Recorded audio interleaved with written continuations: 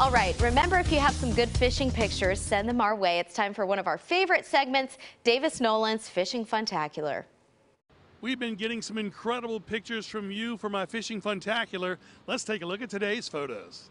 We'll say good morning to young Maddox. He was fishing with his dad on Greenbrier Lake there. Got himself a nice largemouth bass. Must have been fun pulling that in. I love that life jacket and those trunks he's wearing there.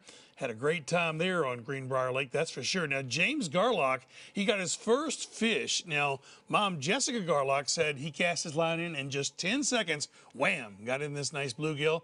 I like his shirt too. That's pretty cool as well, James. Now, this is Hannah Reynolds and Riley Elrod. They were catfishing at night on Normandy Lake, showing off the catfish they pulled in. Looks like they all had a, a great time there that night on Normandy.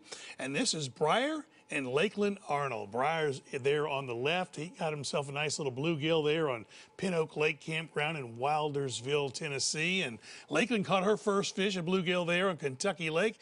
I'm sure that's a good way to enjoy spending your fall break. And speaking of fall break, Gabriel Yates went down to Naples, Florida, was with his pawpaw there. Nice looking fish there he's got on the left. Almost looks like he's got a freshwater bass uh, in that inlet there. Sometimes the bass are in that brackish water there and sort of a more saltwater perch type fish on the right there. Good fish fishing there. Gabriel, and I hope you enjoyed your fall break. Now, this is Aiden Ballier. Now, his brother took this picture, wanted to show off his brother's 10 pound flathead catfish he caught at the Vito boat ramp on the Elk River there at night. Man, that must have been quite a quite a fight to pull that in the middle of the night there from the boat ramp. Good job there, Aiden. Now, this is Josh Yates, a nice five pound largemouth he got on Normandy Lake.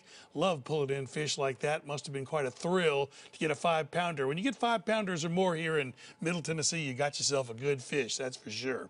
Now, this is Jean Smith, and I'm going to say she's 83 years old, young, because she looks young to me anyway. And she's at Swan Creek in Hickman County. And check out that smallmouth bass that she caught there on the creek. That is a huge smallmouth, and pulling them in that shallow water there on the creek must have been a blast there, Jean. I hope you enjoyed your day of fishing there on the lake. You look great.